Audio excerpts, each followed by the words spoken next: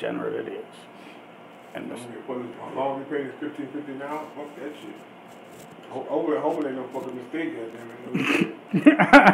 they, they gave you the 50 cents by accident. Yeah, I'm saying, all right, fuck that bullshit. I don't give me no what's name. Fuck you. If they- ever find out what we actually do here, they're gonna take that 50 cents away. Very hard, fuck that. they're gonna say, wait, you got your dick sucked in the back? Sure, man. I ain't tell you nothing. I ain't you nothing. I'm taking that 50 cent away. I ain't tell you nothing. You're gonna have to give us 50 cents more an hour. Bullshit. That means you basically got paid to get your dick sucked. No, I don't give a shit now.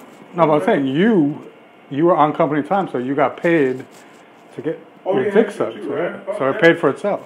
That's what I'm saying. Wait, ten dollars? At fifteen or ten? Ten. Does she make you wear a condom or not? Nope. Oh shit! Remember I was telling you before I started holding nothing wrong with my dick because I ain't got no bolt on my dick. So I said, so fuck. Nah, just from her mouth. You can't do, it. Shit.